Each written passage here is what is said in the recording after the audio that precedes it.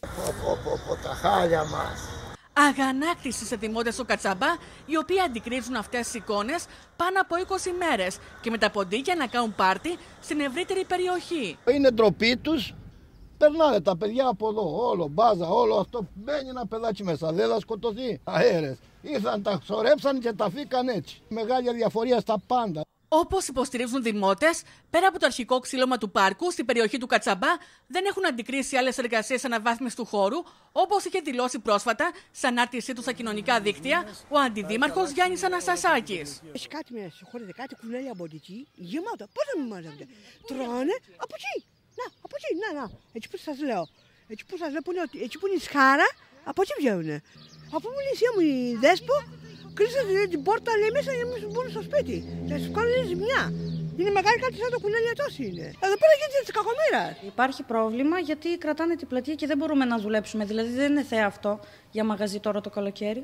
Στις αρχές Φεβρουαρίου, ο Αντιδήμαρχος παρουσίαζε τα σχέδια για μια σύγχρονη παιδική χαρά. Το έργο δημιουργίας ενός όμορφου μικρού κοινόχρηστου χώρου που θα περιλαμβάνει και μια σύγχρονη παιδική χαρά. Στην ουσία αυτό που κάνουμε είναι καθαίρεση όλων των υφιστάμενων κρασπέδων εσωτερικά ώστε να δημιουργήσουμε μια ενιαία διαμόρφωση. Κεντρικό ρόλο σε όλη αυτή την χωροθέτηση θα έχει η παιδική χαρά που θα έχει σύγχρονα όργανα. Οι αρμόδιοι έρχονται εδώ. Κανείς, δεν έχω δει εγώ κανένα, ποτέ μου. Τα Δεν ποντίκια; έχω. Ε, τα ποντίκια βγαίνουν καθημερινά. Ε, πρέπει να λάβουν τις ευθύνες τους. Αυτοί, εμείς δεν είμαστε αρμόδιοι. Εμείς είμαστε κατοικούμε εδώ, αλλά δυστυχώς δεν μας λαμβάνει υπόψη τους. Πέρα από την καθαίρεση των υφιστάμενων κρασπέδων, δημότες διαπιστώνουν ότι τα έργα δεν προχωρούν με τα τροχτικά να κάνουν την εμφάνισή τους στην περιοχή. Εκτός αυτό είναι λίγο άσχημο. Είναι πόσος κόσμος είναι, έχει και μαγαζιά γύρω, φαγητά. Εντάξει.